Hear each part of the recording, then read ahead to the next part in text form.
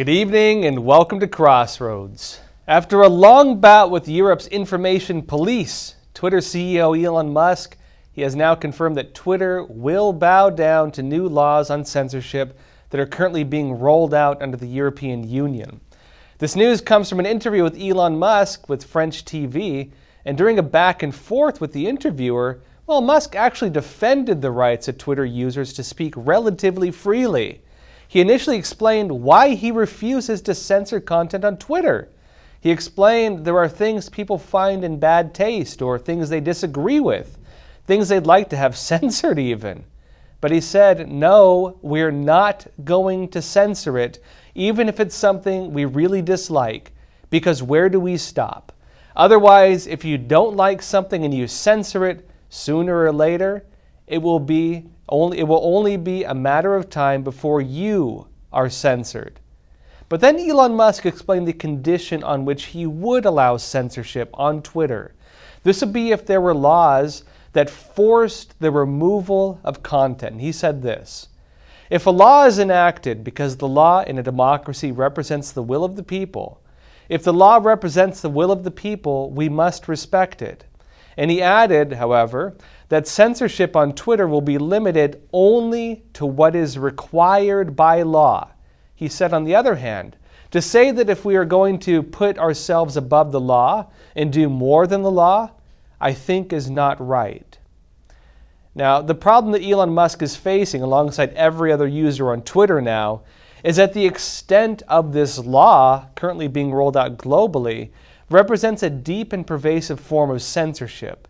It's a system of censorship that will likely go beyond what is currently not allowed even on US platforms. It is the European Union exporting its rules on so called hate speech. Its rules on a system that censors what it brands as disinformation, which it determines apparently, and a regime to allow the EU more direct control over the companies. Musk's interview with French TV took place, notably, right ahead of a visit from the European censorship leader. This is Internal Market Commissioner Thierry Breton. He explains, or sorry, he plans to visit Twitter headquarters in the United States to carry out a stress test of the platform. And Twitter is not going to be the only company in America being brought to heel under the European law, European Union's laws against free speech. The EU Commission, this official, they are planning to hold a meeting at other companies in Silicon Valley. This include Google, these include Meta, which is Facebook and Instagram, and it includes others, including AI platforms.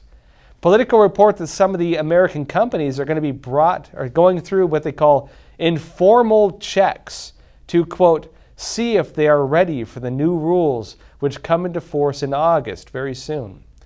If a company, even an American company, violates the European Union's rules, well, the U.S. company, the America based companies, they have to pay the European uh, censorship system a fine of up to 6% of their annual revenue. Ahead of the planned meetings, Breton told Politico that he wants the companies to know that he's, quote, the enforcer. He said, We are going there, but don't want to be vocal before because I don't want to speak too much. But we offer this, and I'm happy that some platforms took our proposal. I am the enforcer. I represent the law, which is the will of the state and the people. Yeah, European state and European law. But, folks, the will of the people, where have you heard that before? Regardless, the law in question is the DSA, the Digital Services Act. And technically it's already in place, but currently it's voluntary. Soon it will not be voluntary. You will not have a choice to follow it. As Breton told Politico, I just reminded Musk and Twitter that by August 25th, it will become a legal obligation to fight disinformation. So, what is the Digital Services Act? Well, it's a sweeping set of rules for companies operating on the internet. It was passed by an overwhelming margin in the European Parliament. They had 539 votes for it, only 54 against it. It has regulations for companies in just about everything advertising, transparency, and many, many other areas regarding how they conduct business online. Most of all, though, the most contentious part, arguably, is it has authoritarian laws on what it defines as very large online platforms and search engines when it comes to information control and censorship, notably. It states very large digital platforms and services are required to analyze the systemic risks they pose and to carry out a risk mitigation assessment. It adds that this risk mitigation assessment it's going to be, quote, carried out on an annual basis and will allow for continuous monitoring to reduce risks related to one, the dissemination of illegal content determined by them, two, adverse effects on fundamental rights, three, misinformation or manipulation of elections, four, cyber violence against women or harm to minors online. In other words, not physical violence, but cyber violence. It says, quote, these measures must be balanced against restrictions on, on freedom of expression and will be subject to independent audits.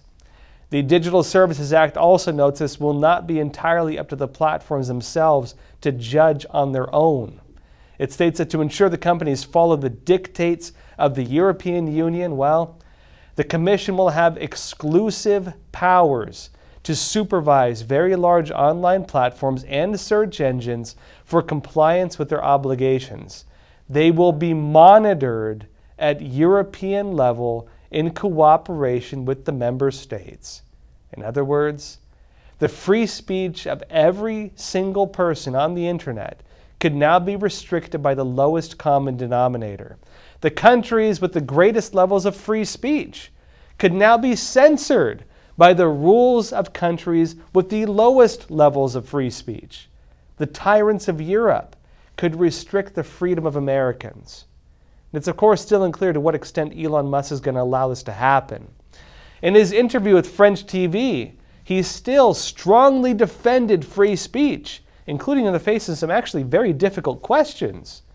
If we want to get technical, in fact, Elon Musk stated his stance is that Twitter will follow the law.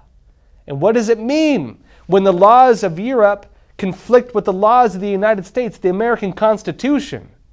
The challenge the EU is going to have to deal with is that its censorship laws on this, well, much of what they look to censor does not violate the law in the United States. In fact, by censoring, they may be violating American law. In America, we have the Constitution. Under the First Amendment, speech is protected here almost to an extreme extent. In fact, even seditious speech in the United States has been debatably protected since the time of Thomas Jefferson. This goes back to the challenges against the Alien and Sedition Acts from way back in 1798. And fittingly, those laws were in anticipation of a war people worried, were worried would take place against France. Now, back then, that was when the tyrants of Europe were rolling out the guillotine.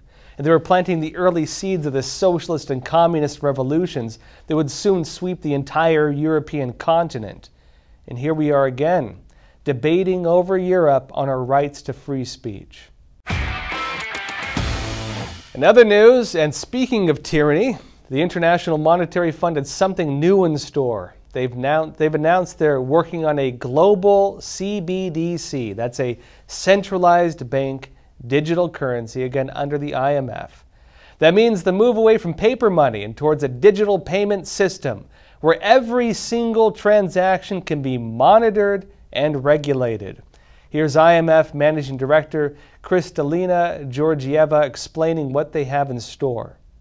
If we are to be successful, uh, CBDCs could not be fragmented national propositions.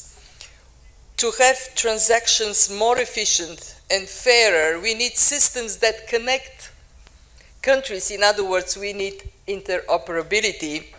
Uh, and for this reason, at the IMF, we are working uh, hard on the concept of a global CBDC platform to trade and to manage risks. And the key point with that was easy to miss. What the IMF managing director just said is that centralized bank digital currencies cannot just be fragmented. In other words, You can't have different countries all around the world, each with their own CBDCs, with their own rules. What she's saying is that the world needs a centralized, globally, CBDC. One digital currency to rule them all. Well, that's all we have for YouTube for the rest of the episode. Come join us on epochtv.com, E-P-O-C-H-T-V.com. Link in the description below this video. We have some really big interviews coming up. Trevor Loudon joins us talking about the woke revolution now taking place in America, well, anti-woke, and what it means. We also have Colin Wright on with us talking about how Twitter is actually fighting back on censorship, ironically by censoring both sides. Join us on Epoch TV for the rest of the discussion.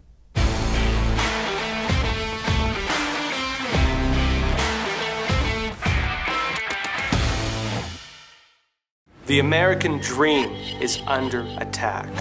The greatest country in the world is now more polarized than ever before. This is about targeting women of color. Put your mask on. It's an insult to our country as the world is already laughing at us. While we're dividing ourselves from within, while the nation is focused on internal battles, a greater threat looms in the horizon. The Chinese Communist Party. 绝不允许任何外来势力奴役我们。谁妄想这样干，必将头破血流。They're systematically infiltrating our government. They're stealing our technology and they're attacking our freedoms. The FBI is opening a new China related counterintelligence case about every 10 hours. The Chinese are preparing for war. We Americans are very good at being oblivious as to what our enemies are saying. And we did not pay attention to Osama bin Laden until one day he killed 2,977 Americans. This is not just a battle of ideologies or just about pursuit of dominance. This is a war that will alter the course of our lives, and if we lose, it will condemn our children and future generations to a world of unimaginable horrors. This is why my show in the Epoch Times is so critical. We're not afraid to take on the Chinese regime head on. And he said, They told me that they, if I keep talking to you, they're going to hire a hitman to chop off one of my hands. We're not afraid to call out the CCP for their atrocities. We're completely independent. Our only interest is in traditional journalism and reporting truthfully. Bizarre news today the Chinese Communist Party is opening up police stations, departments, and well, working as overseas bureaus all around the world, including right here in New York. You heard that right. It's time to replace the Chinese regime's propaganda with truth. Get back to the basics life, liberty, and the pursuit of happiness. All you have to do is subscribe to Epoch TV, and you'll get so much more in return. Just click on the link in the description below this video, and you're on your way. Baby, this is our time to rewrite our